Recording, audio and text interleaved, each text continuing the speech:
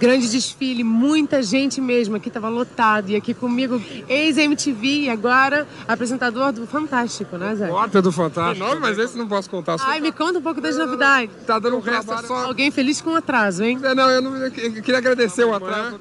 Vou tentar. Zeca, muito obrigada. É, imagina, Vanessa, obrigado a você.